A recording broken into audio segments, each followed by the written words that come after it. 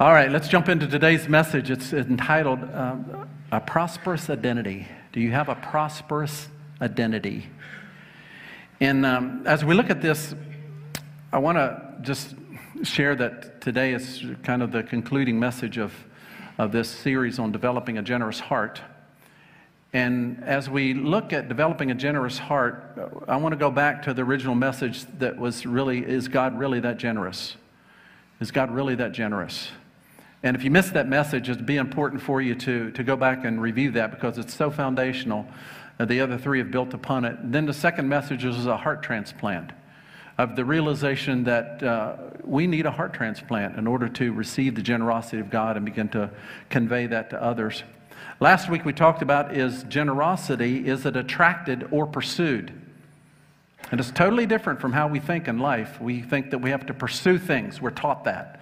I read from the Constitution, I mean, not from the Declaration of Independence, it said that we are to pursue happiness. Yet in the kingdom of God, it's attracted to us because God is a generous God He lives inside of us. It's just a whole different way of thinking. And so today is going to be one of those that I'm sure I'm going to mess with your mind about how you have uh, grown up, and uh, we're going to, to look at what it means to have and to carry a prosperous identity. Uh, you know, you get in trouble when you mention the word prosperous in church. Lots of people kind of react to it because it hasn't been handled that well. And uh, yet, I'm not afraid of that term because I understand it biblically. I understand what it means biblically. But oftentimes, what it's associated with is that it's only associated with riches. And I heard said recently that wealth is who you have, riches is what you have. Wealth is who you have, riches is what you have. And if you chase riches, you will actually end up in a poverty mindset. Because you're chasing the rewards and not the rewarder. And what happens is that you actually you're focused upon what you don't have and what you lost and what you might lose and what your fear of what you could gain and how you steward that. You actually end up in a poverty mindset if you chase riches but when you understand that when you have God, you have the wealth of God, then the riches just come and hang around you without stress and without ulcers and without anxiety. They just come hang around you and then you manage them. It's a beautiful way to live. It's different, oftentimes, from how we live or, or how we taught. You see, once your internal reality lines up with God's invisible reality, your external reality will become prosperous from your internal identity. Uh, we just jumped in the deep one, guys. right? Let me say that again. Once your internal identity lines up with God's invisible reality, your external reality will become prosperous through your internal identity. How we doing? Are we swimming yet? That's pretty awesome, isn't it? Amazing. So let's jump in and find out how it works. What does the prosperous identity look like? We're going to go to 3 John, 3 John chapter. Well, there's only one chapter in John. So, you know, I forget whether you say 1 John 1 and 2 and 3 or just go right to the verses. So I guess you just go to the verses because there's only one chapter. But I want to give you context about 3 John before I state the verses. It's pretty much um, agreed that 3 John was written in the year 90 AD. Now, if you know anything about church history, you know that Jesus lived the first 30 years, 33 somewhere he died, and then the early church started and it prospered and grew, and there was persecution and expanded. And then uh, 70 AD, the Romans came down and they conquered Jerusalem. They destroyed the temple and the city, and, and, and uh, Christianity was dispersed into other nations. People ran for caves, they ran for the hills. And then we get to 90 AD, when in probably this letter, these verses were written when John was on the Isle of Patmos. So he was exiled, he was alone. People didn't want to be around him. The glory of God was all over him. Whether, the, whether it was the government or whoever it was, was, was getting rid of John and, and trying to, you know, send him to a, a, an island to die. And so John's out there and he writes these words. I want you to hear the context because it wasn't the circumstances that were all wonderful and, and in line and that religious persecution didn't exist and, and everybody had their freedoms. That's not the environment he was in. He was in the environment of being rejected. He was in the environment of, he didn't know who his friends were. He was in the environment of being all alone. And yet he writes these words. Here's what he says. I'm using the Passion Translation just because it, uh, it really conveys what I feel like the heart of God here in John, 3 John 2 through 4. Beloved friends, I pray that you are prospering in every way, that you continually enjoy good health, just as your soul is prospering. I was filled with joy and delight when the brothers arrived and informed me of your faithfulness to the truth. They told me how you lived continually in the truth of Christ. It is the greatest joy of my life to hear that my children are consistently living their lives in the ways of truth. Sounds like the heart of a parent, doesn't it? Towards their children. Any parent would wish that their child would live continually in the ways of truth. And John is conveying that to his friend Gaius as he's writing here these words. But he states two things starting out. He says, I wish that you would prosper in every way. And he includes two things good health, that would be the external. And then he says, just as your soul is prospering, that's the internal. That's what I'm going to be talking about today more the internal than the external. John is saying that when our soul is prospering, then things around us begin to prosper. But it first starts inside of us. I was in a situation that uh, happened. It was two people that were not getting along, and, and so I was listening to them trying to work it out. And as they were working it out, uh, one person just got finished. And they're like, I'm done. I'm, I'm not going to keep in on this conversation. And they got up and dismissed themselves. They tooted both their horns and left. And, and so we're like, wow, we didn't expect that. And the other person was remaining. I had some thoughts and I got fairly pointed about uh, something that needed to be let go and other things the person was right on. And, and they like, wow, I didn't see that coming. Can we pray? I said, absolutely.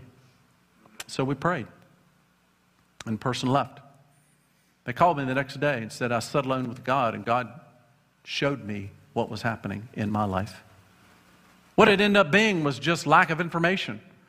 The one party had taken an offense over a lack of information, and God was the one that showed it to them. And they said, I just repented before God. I just did not have the right information.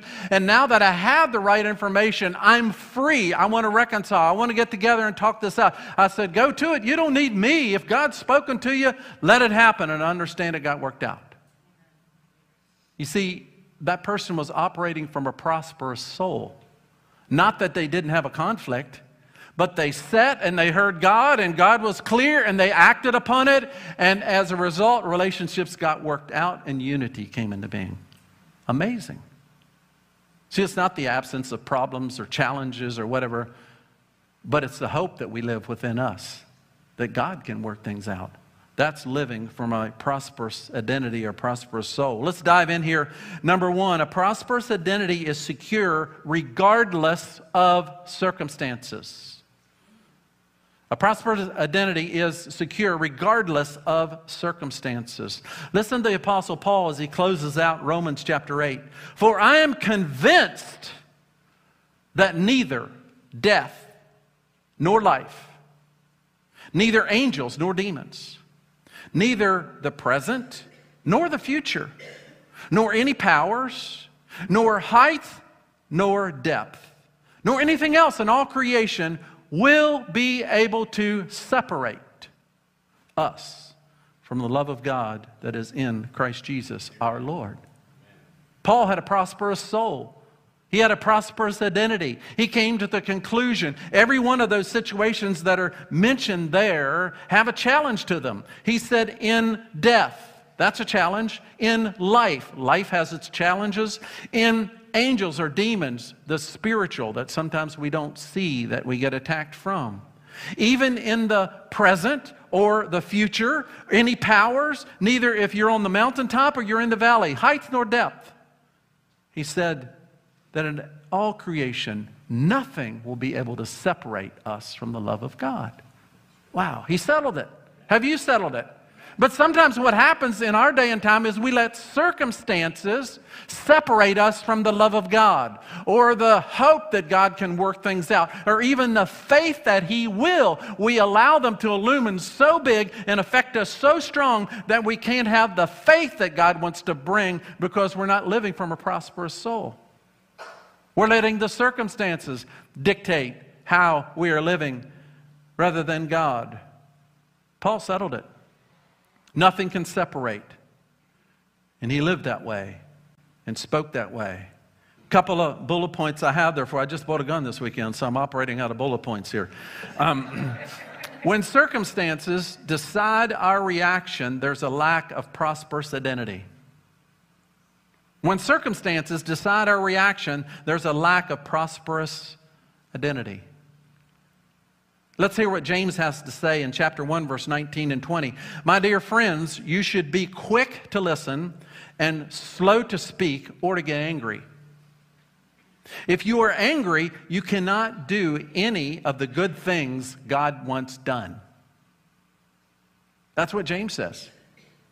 He's very clear that he wants us to live from a prosperous soul, and a prosperous soul is one that is slow to speak and quick to listen and not get angry. You know, you can express your anger without being angry. I've done that before. I, that makes me angry. But I'm not throwing things or raising my voice or walking out. But I'm letting people know that makes me angry. See, there's ways to let people know that we're upset, and that's challenging for us. But yet, that's operating from a self control, prosperous soul, not acting out upon that. That's how we're supposed to live. God's purposes are not accomplished when you're angry. That's what James tells us through the Holy Spirit.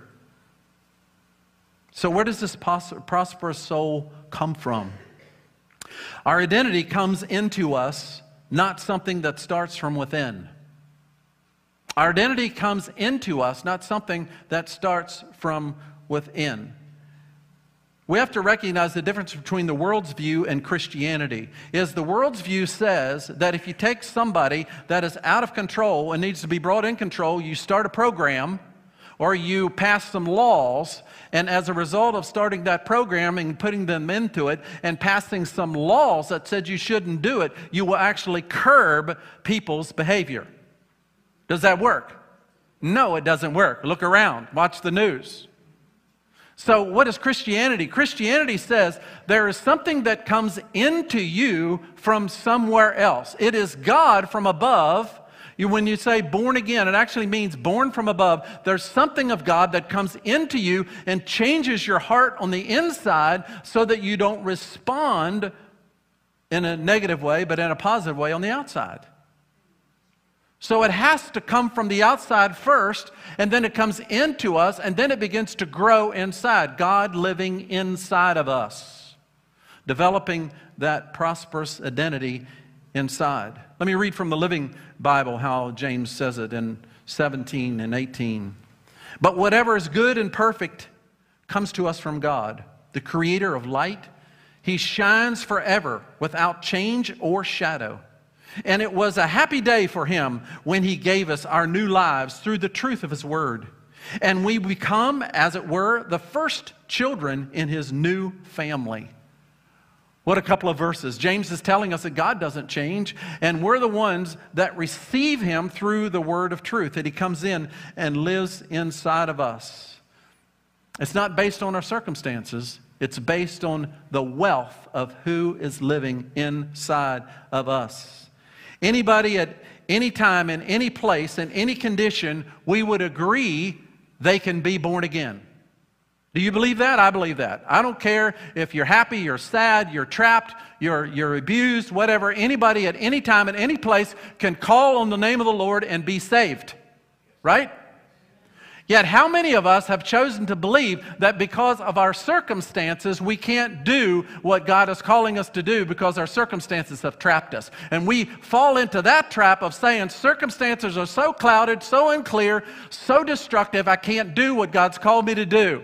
And we fall into that trap, yet we would believe that somebody in any condition in life can call upon the Lord and be saved. But we can't believe that God could actually move us out or that we could be prosperous in the condition that we're in and still be happy even though the, the situation hasn't changed. Am I talking to the right crowd? Yeah. All right. I've been there before and I still get there at times. So I'm not just, you know, preaching at you. I'm looking in the mirror. We'll get there here in a few moments. Number two, a prosperous identity stays planted in truth. A prosperous identity stays planted in truth. Psalm 1, 1 through 3, describes a prosperous identity. And uh, I'm going to just read verse 3, and then, then I'm going to read uh, the, the first three verses here in a few moments. But verse 3 says this That person is like a tree planted by streams of water, which yields its fruit in season, and whose leaf does not wither. Whatever they do prospers. That's what it says in Psalms, starts out there. So there is a, a, a prosperous soul then lives out of truth. If you want to be a victim, live out of circumstances. If you want to be prosperous, live out of truth. That's the difference. The Living Bible says it this way Psalm 1 1 through 3. Oh, the joys of those who do not follow evil men's advice, who do not hang around with sinners, scoffing at the things of God. But they delight in doing everything God wants them to, and day and night are always meditating on His laws, thinking about ways to follow Him more closely. They are like trees along a riverbank bearing luscious fruit each season without fail. Their leaves will never wither, and all they do shall prosper. That's an amazing set of verses, isn't it? It says here, first of all, that we should not get the advice of evil people, meaning people who don't fear the Lord, people that don't care about God. We shouldn't necessarily take their advice. Now, I understand uh, you know, you have to wade into each situation, but generally that's the case. Depends on what it is. The second thing is that the person that operates out of a prosperous soul or identity, they meditate on the word of the Lord because that's where they know their wealth is coming from. It's coming from God who lives within, and they meditate on Him. And then, third is wherever they are planted, they prosper. What family they're in, what community they live in, what job they have, what neighbors are next to them, that everything that they do prospers because they are not hanging around evil people that are scoffing at the Lord. They are meditating on the word of the Lord that's filling them up. And as a result of that, again, prosperity is attracted to them and other people see it around them. That was last message coming into today, last week's. So, whatever it is, it says you bear fruit in season. Now, here's the mistake that we make. Externally, we understand there is a season for fruit and there's a season not for fruit. And what's happened is that we have superimposed just because visibly there is a time that we see fruit and times that we don't. We then superimpose that because it's not the season of external fruit, meaning that it's, that circumstance hasn't changed, that because the circumstance hasn't changed visibly, the fruit isn't seen visibly, that we can't be prosperous in the middle of that before it changes. That's what it means to live by faith. Your external hasn't changed yet. Abraham lived by faith. He didn't have a son, he had a promise. God even made an oath that said, You're going to have a son between you and Sarah out of your loins. He didn't see it yet. He was living in faith, but he carried this prosperous internal identity, believing that God would bring it about, even though it hadn't happened yet. He didn't see it, and yet he lived prosperous, believing that promise would come.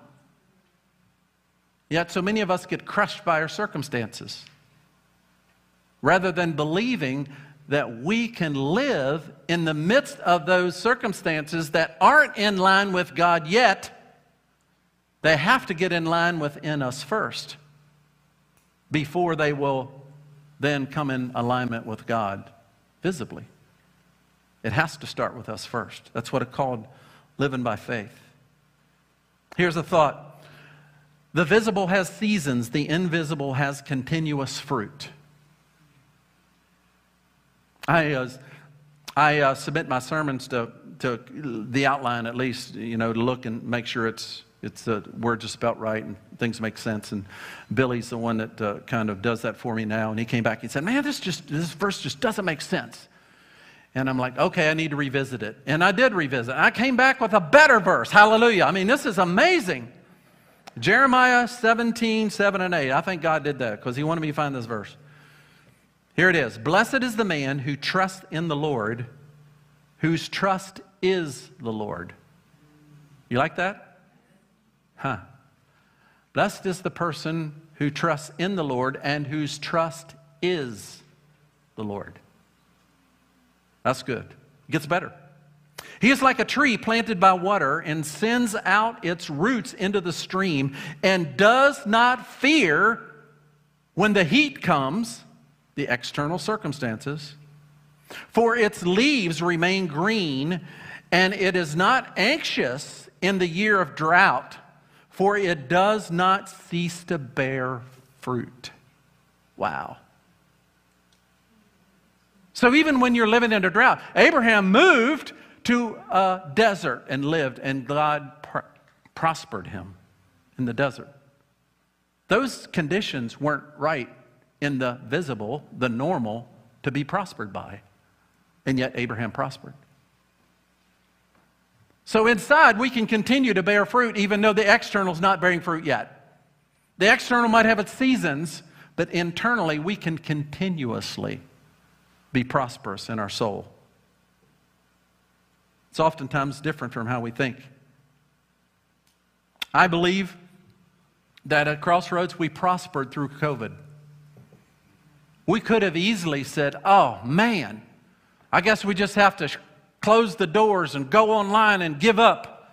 But we didn't choose to do that. We chose to cooperate at the level that our conscience would let us, and then we said, okay, we're going to trust God. And it wasn't just me, I'm not tooting my own horn, I'm also being blessed by your faith as well. We decided to trust God at a level that we never trusted Him before for His protection and His healing and His wisdom and His grace, and we prospered the last two years when everybody else was struggling. Not everybody else, but we chose to prosper because we were living out of a prosperous soul. We raised a half a million dollars to the next place God's going to take us. And everybody would go, No, the circumstances, the conditions are not right to start a funding campaign. But that's not what God said. God said, No, now's the time. And we saw the fruit of that. You see, it's what's going on in the inside that tells the outside what to do, not the outside dictating how the inside should believe. It's amazing stuff, but it's oftentimes not how we think. Our identity in Christ is the greatest wealth deposit that we have. Our identity in Christ is the greatest wealth deposit that we have.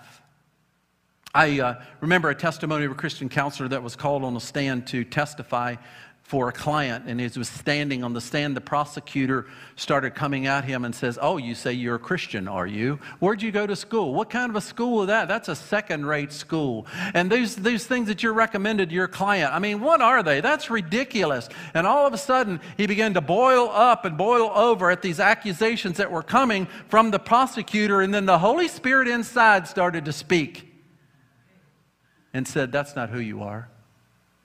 You're my child. You are speaking my truth. You have wisdom from me. And he started listening to the inside of him rather than the prosecutor coming from the outside. And he settled down in peace and finished what he had to say. See, that's how we need to live because the prosecutor will come at us at different times. The question is who's living inside? Are we pulling from a prosperous soul? Or are we letting the circumstances determine that? Our greatest wealth is who is living on the inside, not what surrounds us on the outside. John 4:14 Jesus is speaking to the woman of the well and he says this But whoever drinks the water that I will give them will never thirst. Indeed, the water I give them will become in them a spring of water welling up to eternal life. Do you hear what's happening? It gets better. John 7 38. Whoever believes in me, Jesus is talking again. Whoever believes in me, as the scripture has says, rivers of living water will flow out from within them. So it starts in a spring and then goes into a river. wow. That's amazing. Now, how does that apply? I want to take you to Daniel chapter 3, 28 through 30. Nebuchadnezzar he is a pagan king. He could care less about God. And yet something happened because three men stood up and they decided that they were going to live from who was inside of them rather than the circumstances that were causing them, that were asking them to bow around them. Let me read it to you. Nebuchadnezzar says, Praise be to the God of Shadrach, Meshach, and Abednego who had sent his angel and rescued his servants. They trusted him and defied the king's commands and were willing to give up their lives rather than serve or worship any other God except their own. Therefore, pagan king, I decree that the people of any nation or language who sow anything against the God of Shadrach, Meshach, and Abednego will be cut into pieces and their houses be turned into piles of rubble. Wow. Make your house into a parking lot. For no other God can save this way. And then the king promoted Shadrach, Meshach, and Abednego. He promoted them in the midst of probably one of the more demonic, evil empires that ever ruled on the face of the earth because they stood they knew who was living on the inside, and they stood in the face of whatever circumstances were surrounding them and trying to press on them. They stood in the face of that and they said, We will not bow. And as a result of that, the king recognized that and he promoted them in the midst of ungodly circumstances rather than demoted them. That's amazing, isn't it? They drew from the deposit within them not deposit around them. Number three, operating from a prosperous soul. How do we get there? Proverbs 10:22. The blessings of the Lord establishes wealth, and difficulty does not accompany it. You can become prosperous without God. Okay? But what's going to happen if you do? It's going to include stress and anxiety and worry and ulcers and. Do I continue? You can get rich without God.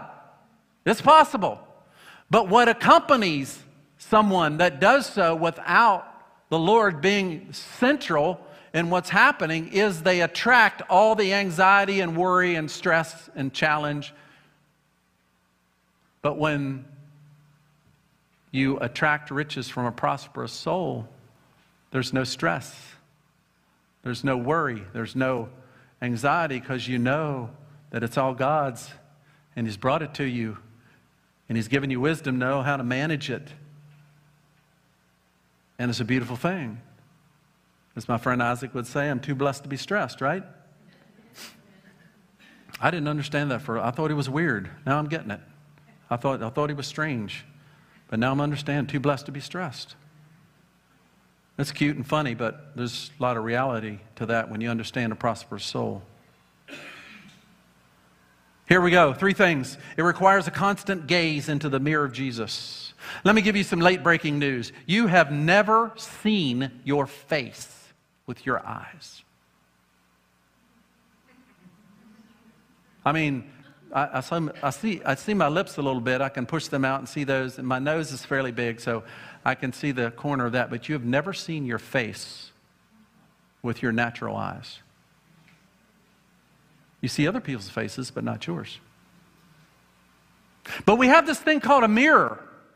It's above our vanity, and we walk in half blurry eyed and hair all out of place, and, and we trust that mirror to reflect an image that puts us in place. We trust that, don't we? We think that that's an exact representation of what we've never seen, but yet we're getting a reflection from it as we walk into the mirror. And we get ordered up, and then we go out and face our day. But we've never seen our face. Never seen it. James has something to say, say about that. He says in James 1 22 through 25, Do not merely listen to the word and so deceive yourselves, do what it says. Anyone who hears the word but does not do what it says is like someone who looks at his face in a mirror and after looking at himself goes away and immediately forgets what he looks like. Hmm. See, the Word of God is an accurate mirror of what God put in us, that He wants to see reflected out of us. And it's a prosperous identity, it's a prosperous soul. So,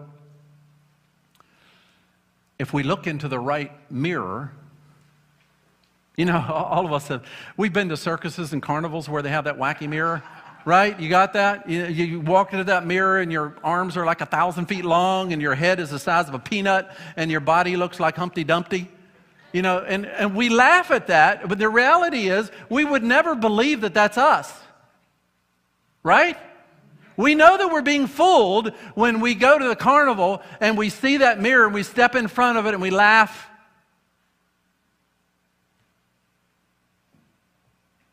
And yet, all too often, we get in circumstances of life and we think that that wacky mirror is our identity.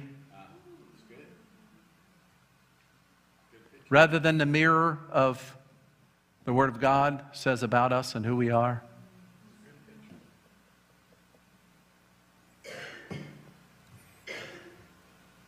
So if you're overwhelmed a lot, wrong mirror. If you're making excuses for what you can do, wrong mirror. If you say your finances will never turn around, wrong mirror. If you're thinking, I can never forgive myself, help me out here. If there's constant feelings of helplessness, if the doctor said, I'm alone and I'm not loved by God.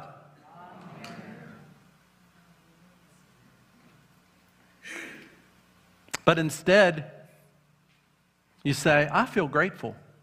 Right mirror. I feel hopeful. I feel fruitful. I am faithful. I'm righteous. I am holy. I can accomplish His vision. What mirror are you looking at? James finishes out here and he says this in verse 25. He says, But whoever looks intently into the perfect law that gives freedom, who's the perfect law? Jesus.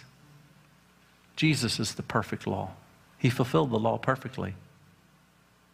But whoever looks intently into the perfect law that gives freedom and continues in it, not forgetting what he has heard, but doing it, they will be blessed in whatever they do, living from a prosperous identity.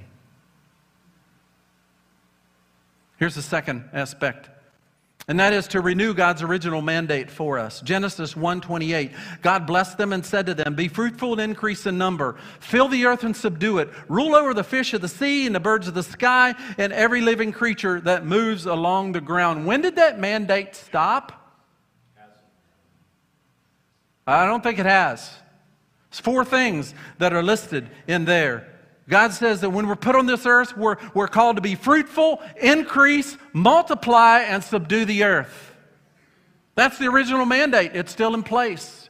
Then in Acts chapter 1, verse 1 and 2, Jesus died, he rose from the dead, he's given instructions to the disciples. And, and Luke writes there, he said, Jesus be, began to do and to teach. In other words, he wasn't done on earth. He accomplished his part, and now he says, Church, I want you to do your part. He began to do, it says he began, he shared what he began to do and teach. So there's more to do, and we're continuing in that today. Living out of a prosperous soul, looking into the face of Jesus, God wants to equip us to live that way and to think that way. Here's the next thing, and that is the anchored faith generates a prosperous identity. When you have anchored faith, it generates a prosperous identity. See, the Bible's not a rules, a book of rules to follow. That may be news to some of you. But the Bible's given, or the rules were given so that we would see that we needed a Savior. That's really why God gave us the rules. Up until the point before the Ten Commandments, that then got folded into 613. It sounds like government, doesn't it? God started with 10. It got, it got the legislation passed up to 613. And then when Jesus came, he brought it back to two. Amazing. So the law wasn't written to be a, a rule book follower. The law was written so that we say, I need a Savior. And God says, I was, I was waiting for you to share that. So, how should we then look at Jesus coming? We should say that this is what the Father says to us Come and join my Son who did it perfectly for you and as you, and let me reward you as you do it perfectly too. Or like, no, no, no, I mess up in myself. No, that's how it works. God is doing it through you. We're, we're walking, we have it, we're walking into the perfection that He has. And the way God sees it, it's already done, it's perfect. We see us walking into it, God already sees it done. That's living with a prosperous identity when we see it His way rather than our way. Hebrews 6 17 through 20. Because God wanted to make the unchanging nature of his, of his purpose very clear to the heirs of what was promised, he confirmed it with an oath. God did this so that by two unchangeable things in which it is for impossible for God to lie, we who have fled to take hold of the hope set before us may be greatly encouraged. For we have this hope as an anchor for the soul, firm and secure. It enters the inner sanctuary behind the curtain where our forerunner Jesus has entered on our behalf. He has become a high priest in the order of Melchizedek. There you have, summing it up. God says, I want to give you an anchor for your soul, and that is the faith that you believe in me. I said earlier that when we live by faith, that means the external hasn't happened yet. But that shouldn't diminish the fact that the internal within us believes that God will bring it about, that He's promised to bring it about, to get to that place of assurance. That's living from a prosperous soul. Question one Are you currently living from a prosperous soul? Do you have a prosperous identity? What does that mean? It means that you have clearly uh, operate life thinking that you're accepted, loved, and significant regardless regardless of your present circumstances? Question. Our identity always comes from the outside, then it comes in, and then it grows within and comes out and changes the outside. Number two, do you live with ups and downs, seasons in your life, or a steady, constant fruitfulness? What happens the scripture out of Jeremiah says that when it gets, starts getting dry, the circumstances get difficult. Instead of running from those circumstances, we, we, we drill down further with the roots that God has given us because we know there's fresh water down below. We know that God has a fresh view, a fresh understanding. We know that God has fresh vision. And instead of letting the circumstances cloud and overtake us, we say, No, I'm going to drill deeper because I know there's a spring. I know there's a river. I know there's goodness. I know there's prosperity. I know there's peace. I know there's confidence. I know there's faith. Therefore, I'm going to drill down a little bit deeper and tap in to that which I haven't yet, but I know that's there. That's faith. Living in faith. Number three, what mirror are you looking at? What's coming back?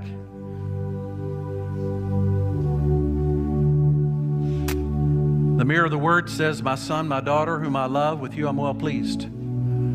That's looking at the right mirror. The wacky mirror says you'll never make it. You're, everything's out of place. You're physically stressed. Why not just give up? That's the wacky mirror. But God took Jesus and he whacked him out pretty hard. It says he was treated. The sins that we should have been punished for took upon him. And he straightened that out so that when we look in his face, we see a perfect reflection of who God is for us. Let's not forget who we're looking at because who you look at, you grow in. See, whatever, whatever you pay attention to, you grow in, you take on. You pay attention to the problem, the problem gets bigger. You pay attention to the solution, the solution gets bigger. That's a choice we make.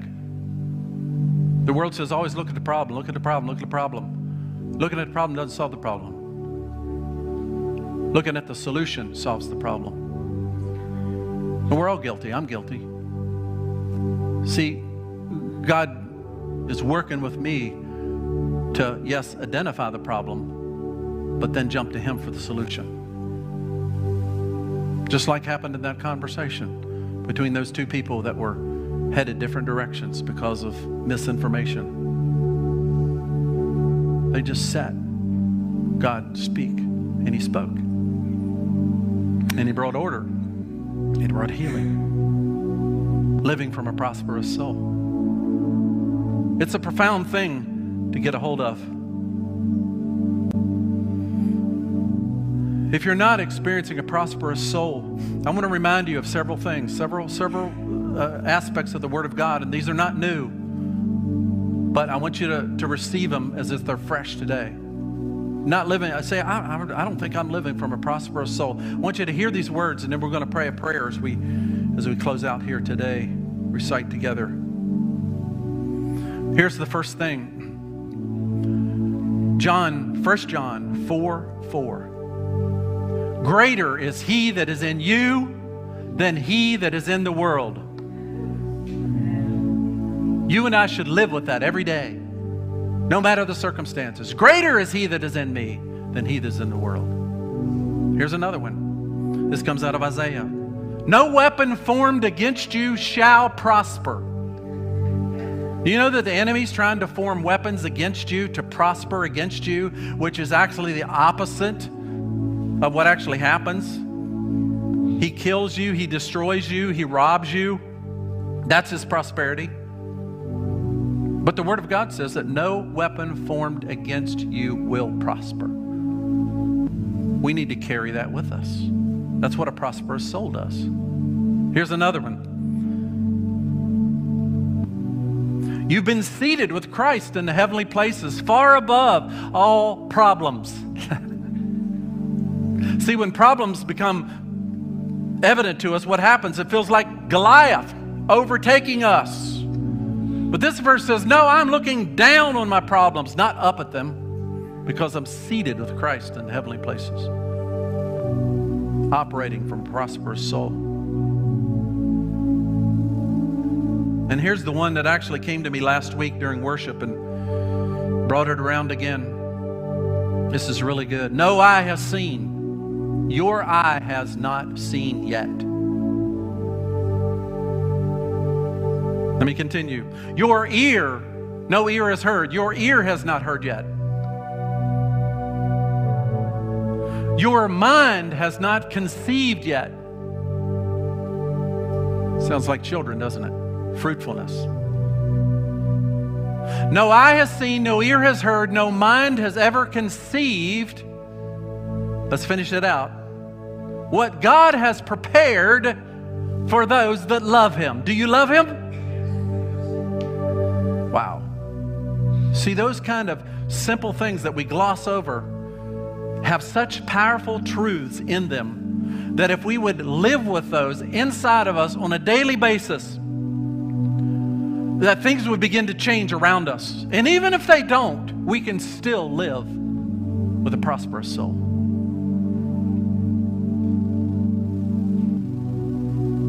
Jesus did. Shadrach, Meshach, and Abednego uh, did. Finish my sentence. All right, let's pray together. Can we do that? Here's what I invite you to do. I invite you to stand up, and I just want to share this prayer with you, and and let's uh, let's pray it together. And uh, again, I just invite you to like, I don't know if I'm ready for that. Well, then just just kind of listen, take it in. But I, I think you'll be blessed by saying this together as a declaration of faith. Heavenly Father, I believe you sent Jesus to show me how to have a prosperous soul. I desire to be planted in the stream of your word and be fruitful in my soul, regardless of my external surroundings. Jesus, you are my example. As you are, so I can. Forgive me for looking in the world's mirror instead of the mirror of Jesus. I have a mandate from heaven to fulfill while I'm here on earth. I invite you, Holy Spirit, to remake what needs to be redeemed in my identity so I can live from living water springing forth within me of the Holy Spirit. May my soul always be anchored in faith, hope, and love from this moment on into eternity. In Jesus' name, amen.